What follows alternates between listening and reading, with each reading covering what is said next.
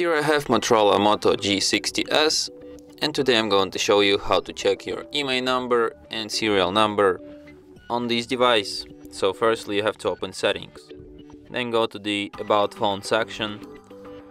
Here you can find your IMEI number, here you can find your IMEI number too and also in the hardware information, I mean model, you can find your serial number.